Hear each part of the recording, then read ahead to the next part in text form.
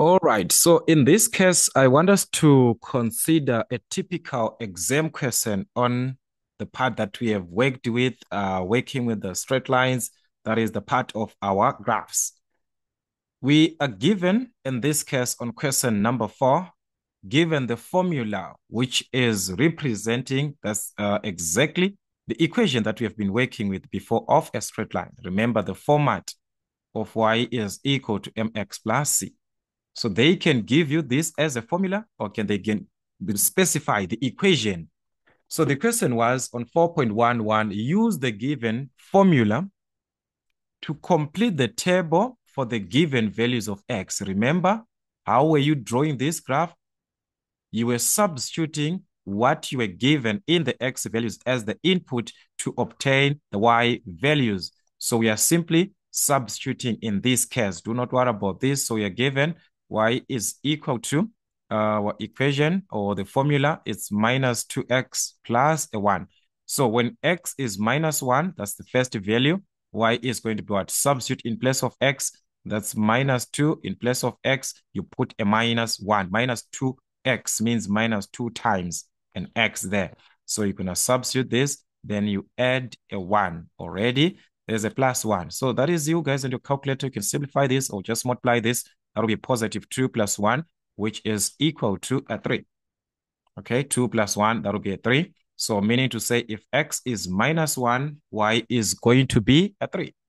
You do the same thing when this x is equal to a 0 in this case. In place of x, you substitute a 0, that's minus 2 times a 0 plus a 1. So y is going to be what? Minus 2 times a 0, that's a 0 plus a 1. So y was going to be equal to 1. The same case again, if this x is 1 over 2, which is a half. So that is minus 2 times 1 over 2 like this plus a 1. So what is minus 2 times a half? That is a minus 1. So meaning to say y is equal to minus 1 plus a 1, which is a 0 then. So meaning to say if x is equal to 1 over 2, y is going to give us a 0 there, meaning to say this is the x-intercept where y is equal to 0. This here is the y-intercept where x is equal to 0. Remember the concept of the x-intercept and y-intercept. All right. Then another part, when this y, uh, x is 1, you substitute there, that's a 1. So y was going to be minus 2 times 1, which is minus 2 plus 1, which is minus 1. So meaning to say we're going to have minus 1. So guys, for 2 marks, that's it. You just need to substitute. You can simply take your calculator, substitute everything on your calculator as it is. So what you just need is to present your formula. Then you substitute every part that you are given into the formula. Uh, this is going to be like this. We are given, uh, that is minus 2x. So it's minus, you open a bracket for every x value that you're going to substitute. If it is minus 3, you substitute minus 3, then plus a 1, all right, that is minus two. Sorry, that's a minus two there. Then a bracket. All right, just like this. Then we're going to add a one. So plus a one, we're going to obtain a seven. All right. So in this case, we need minus three. Where am I getting the minus? We need minus one there. Where am I getting this? It's already affected on the first part that the way that I presented there. That is going to be a three. You substitute again. Let's move on to another one. When these x's, you just substitute like that. And obtain a one, you move on. Just move this arrow into, into the bracket there. You remove that, you put one over two. So that's one over a two like this. All right, that's gonna be a zero. You move on, substitute. So you can just use your formula on the calculator direct.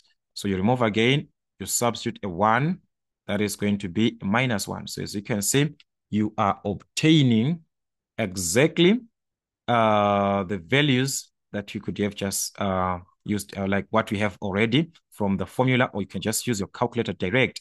Then the question is plot the points from the table in question 4.11, which is this table, on the Cartesian plane below, and join the points using a ruler to form a straight line graph. Remember, we talked about marking of the points, sketching, drawing of these lines. This represents the input x and also the output, which is y. So we've got minus 3 for x, I mean minus 1 for x, and also 3 for y. It's a point where x is minus 1 and y being a 3. It's a point, x versus y. Remember, how do you mark the points? You just need to locate where x is at uh, minus 1, where x is at minus 1 and y is at 3, where these two meet. They will meet at a certain point. The minus 1 going up, the 3 going this side. They will meet at a certain, that is, you mark the points that are on the table. Minus 1 versus 3, so that's it. x is minus 1, y is 3. They meet at this point. Uh, there we have got uh, 0 versus 1. Remember, I talked about this. That's the y-intercept. x, it's a 0 there. x, where x is equal to 0 in the y-axis. So you simply mark this point direct where y is equal to 1 in the y-axis where y is equal to a positive 1. Then we have got 1 over 2 versus a 0 like that. All right. Look how this is, guys it is going to be difficult for us to mark to say, but it, it is just in between halfway. But look, how is going to be halfway? So let's just say somewhere there because this uh, 1 over 2 is just going to be halfway in between uh, 0 and 1. So that point, do not worry about it because we've got another other points to use. So use the ones that are visible, 1 versus minus 2. So this means x is 1, y is minus 1. That's 1 versus minus 1. x here is positive 1, y is negative 1. So these two, if you are to check, they are going to meet at this point. That is where you are going to mark a point 1 versus minus 1. So you're going to use your ruler. You take your ruler along these points. You mark, you, you draw a straight line along the points that you are seeing there using your ruler. So in this case, I'm just going to use this part, guys. It's difficult for me to have a ruler here. So I'm just going to join this way, these points passing through all the points. Just make sure that you extend also your line. Do not just draw to that point to like these points only. You can even extend your line. So that is it. Passing through the given points that you're given minus 1 versus 3, the 0 versus 1, the half versus 0, the 1 versus minus 3 from the table. So also uh, make sure that you go through the class where I explained about marking or labeling the points on the graph, on the Cartesian plane. So that is our graph or this line, the straight line graph that is uh, of y is equal to minus 2x plus 1. So y in this case is equal to minus 2x plus 1. You just write on the on the line the equation. So that's it. This is a typical exam question, as you can see. They can ask you like this.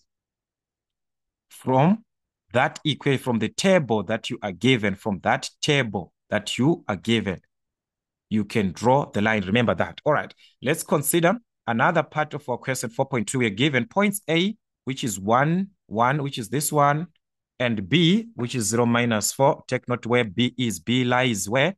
In the y-axis. So meaning to say we are talking about what? The y-intercept there. Where x is equal to what? Where x is equal to 0. All right, so you're given these two are on a straight line graph given below. Use the graph and the given points to answer the following questions. All right, so we're going to use this and to answer the following questions. The first question, 4.21, write down the y-intercept. All right, so already there, I'm talking about that y-intercept, which is at what? Uh, 0 minus 4, the y-intercept. Okay, so you can write it, y is equal to minus 4. You can write it as a point. 4.22, use the given points to calculate the gradient of the straight line graph.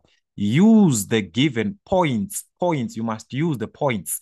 Which points are we having? These two points, A and B. Remember, A, that's 1, 1. Uh, the point A, remember, it is 1, 1. And the point B, we have got another point, which is B, uh, which is that y-intercept 0 minus 4. Remember, that's our point B uh, 0 minus 4.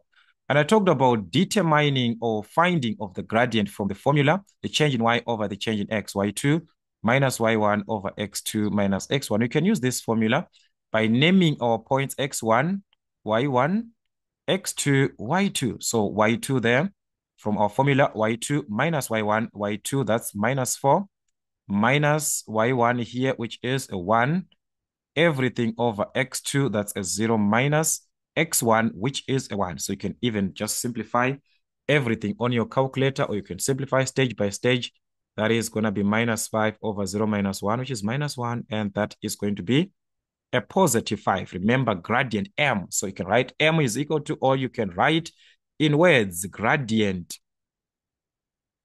Just one and the same. That is the gradient.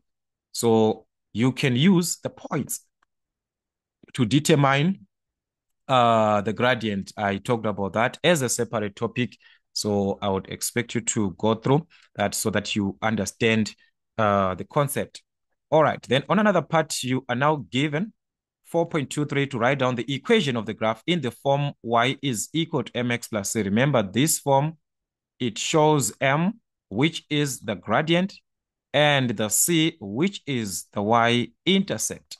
So in this format, we already have our gradient, which is m, and also the c from our graph. Remember, the gradient there, which is 5, the y-intercept, that is minus 4, y value, which is minus 4, the y value. So that is our C, the C value that we are given. So if you want to write, you can write it uh, even as C because you know the format of that. You can even write C. That is the Y value that you are given, the Y-intercept where X is zero, that's a minus four. And M, which is the gradient, is five. So it's just substituting in place of M, we are going to substitute. So Y is equal to, in place of M, our gradient. Remember that was five, so it's going to be 5X plus the Y-intercept which is at minus what? At minus 4. So in this case, a plus and a minus, that's simply a minus. The y-intercept. So meaning to say that was going to be a minus 4. Is this graph an increasing or decreasing function? From the gradient, we can tell being positive, the gradient there is, is it's 5. Giving a positive, that means it's what? It's an increasing function. If it is a decreasing function, it has a negative gradient, or you can even check the way the x values and y values are related. As the x values are increasing this side, we are seeing that y is also increasing. So it's an increasing function. Or you can relate from the gradient, positive gradient. That means it is an increasing. A negative gradient, that is a decreasing function. So these are the typical exam questions that we might expect to have in our finals as we can see that's a typical exam question, a total of 11. Let's work with uh, more questions so that we do understand how are they going to ask you these uh, questions at the end uh, till we meet again.